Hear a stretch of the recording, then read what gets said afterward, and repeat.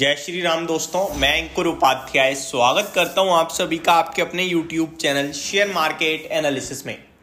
Result season चल रहा है, आज बाज़ार बंद था, लेकिन रिजल्ट्स पूरी तरीके से आ रहे थे। कंपनियाँ काम कर रही हैं, और रिजल्ट्स की बात की जाए तो एक चीज़ तो क्लियरली मेरे को देखने को मिल रही है, वो ये है कि क्वार्टर ऑन क्वार्टर बेसिस पे टिक पाना कंपनियों के लिए मुश्किल हो रहा है।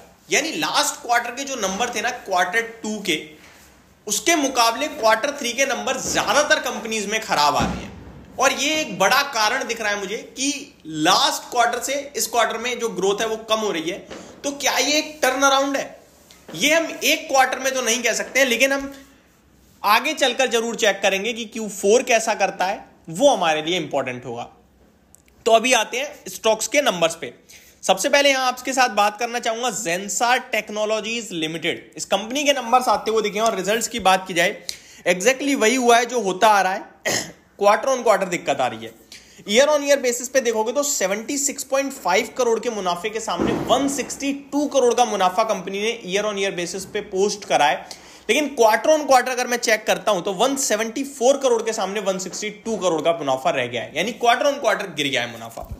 रेवेन्यू की बात की रेवेन्यू की बात की जाए तो ईयर ऑन ईयर बेसिस पे 1200 करोड़ के सामने 1204 करोड़ पे रेवेन्यू पेश करा है, लेकिन क्वार्टर ऑन क्वार्टर 1241 करोड़ के सामने 1200 का रह गया है। तो क्वार्टर ऑन क्वार्टर रेवेन्यू भी घटा है प्रॉफिट भी घटा है, ये एक सही संकेत नहीं दिख रहे हैं मेरे को। कामकाजी मुनाफे की बात करूँ अगर मैं तो 194 करोड़ के सामने 176 करोड़ का रह गया है क्वार्टर ऑन क्वार्टर बेस पे। और मार्जिन में देखें तो 15.66 परसेंट के सामने 14.65 परसेंट यानी ऑलमोस्ट 101 बेसिस पॉइंट से मार्जिन में भी गिरावट आई है। तो थोड़ा अलर्ट है मेरी तरफ़ से। कंपनी ने अपने निवेशकों के लिए दो रुपए प्रति शेयर का डिविडेंड भी अनाउंस करा है। ये एक स्पेशल चीज़ दिखी है। अब आते हैं दूसरे स्टॉक एमआरपीएल एमआरपीएल की भी सेम कहानी है। ईयर ऑन ईयर बेसिस पे तो घाटे से मुनाफे में आई है कंपनी, जहाँ पे लास्ट ईयर सेम क्वार्टर में कंपनी ने 188 करोड़ का घाटा पोस्ट करा था। उसके सामने 387 करोड़ का मुनाफा पेश करा है इस बार। लेकिन क्वार्टर ऑन क्वार्टर पे देखोगे आप तो एक हज़ार साठ करोड़ का मुनाफा घटकर 387 करोड़ का रह गया है। तो बहुत बड़ा कट दिख रहा है ये मेरे को साल दर साल। रेवेन्यू की बात की जाए तो साल दर साल घटकर आया है और क्वार्टर ऑन क्वार्टर बढ़कर आया है। ये इंटरेस्टिंग है। अगर आप साल दर साल देखें तो तीस हज़ार नौ सौ करोड़ के सामने अट्ठाईस हज़ार तीन सौ तिरासी करोड़ पे रेवेन्यू रह गया है। लेकिन क्वार्टर ऑन क्वार्टर बाईस आठ सौ चालीस करोड़ से बढ़कर अट्ठाईस हज़ार पे आया तो ये थोड़ा सा डिफरेंट है। क्वार्टर ऑन क्वार्टर रेवेन्यू बढ़ा है ईयर ऑन ईयर बेस पे घटा है और प्रॉफिट क्वार्टर ऑन क्वार्टर घटा है ईयर ऑन ईयर बेसिस पे। तो फ़ायदे में आई है कंपनी घाटे से। मार्जिन में बड़ी पिटाई पड़ गई है इस क्वार्टर, क्योंकि लास्ट क्वार्टर कंपनी ने साढ़े नौ परसेंट के समथिंग के मार्जिन पेश करे थे 9.36 परसेंट के। और इस क्वार्टर में केवल चार परसेंट के मार्जिन रह गए ऑलमोस्ट सवा पाँच परसेंट के मार्जिन में गिरावट आ गई है। तो लगभग लगभग 540 बेसिस पॉइंट से कट आया है ये। तो बहुत बड़ा कट है, नेगेटिव ही मानूँगा मैं। एबिटा यानी कामकाजी मुनाफा देखो तो 2138 करोड़ से घटकर 1158 करोड़ पे रह गया तो ये और ज़्यादा खराब दिख रहा है मेरे को नंबर कंपनी ने अपने निवेशकों के लिए एक रुपए प्रति शेयर का डिविडेंड ज़रूर अनाउंस करा है तो मैं अलर्ट ही करूँगा इन दोनों ही स्टॉक्स में, मेरी तरफ़ से खराब नंबर लग रहे हैं मेरे को पूरी तरीके से।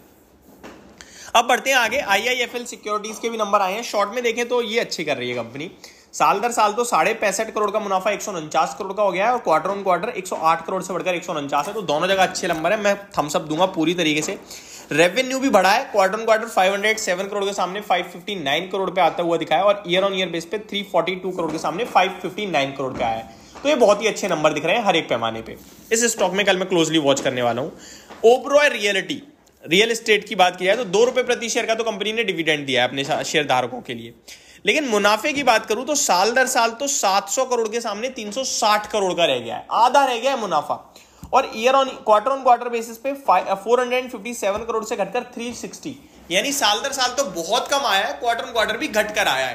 बट सेल्स का नंबर देखना होगा इनका। टोटल रेवेन्यू देखें तो वो भी बहुत ही खराब दिख रहा है। 1629 करोड़ के सामने 1054 करोड़ की सेल कंपनी ने क्लॉक करी है ईयर ऑन ईयर बेसिस पे, और क्वार्टर क्वार्टर 1217 करोड़ के सामने 1054 करोड़ की, यानी क्वार्टर क्वार्टर और ईयर ऑन ईयर बेसिस दोनों ही जगह गिरावट देखने को मिली है। बट वही बात है, कंपनी इनकी आगे की आउटलुक लैंड और कितना काम चल रहा है उसको देखते हुए पॉजिटिव दे दे कह नहीं सकते बट ये भी मेरी तरफ़ से खराब ही नंबर दिख रहे हैं मुझे हर एक पैमाने पे। मार्जिन में भी ऑलमोस्ट टेन बेसिस पॉइंट्स की गिरावट है, कामकाजी मुनाफा आधा रह गया है तो खराब नंबर मालूँगा मैं इसको। एक अच्छे नंबर दिख रहे हैं, वो है सिप्ला। सिप्ला ने अपने प्रॉफिट का आंकड़ा अच्छा पेश करा है। बाकी डिटेल्स में भी देखने के चाहता हूँ, जैसे आ जाएँगे आप सभी के साथ, दिन की आखिरी वीडियो में ज़रूर शेयर करूँगा। बट इन कंपनीज़ में तो मेरे को डेफिनेटली एक डिसअपॉइंटमेंट हाथ लगी है। तो इन स्टॉक्स में मैं अलर्ट करना चाहूँगा आपको सारे ही में। एक आई एफ़ एल सिक्योरिटीज को छोड़कर। होप आपको ये सारी वीडियो समझ में आई होगी, पसंद आई होगी। Thank you so much for watching this video have a great day guys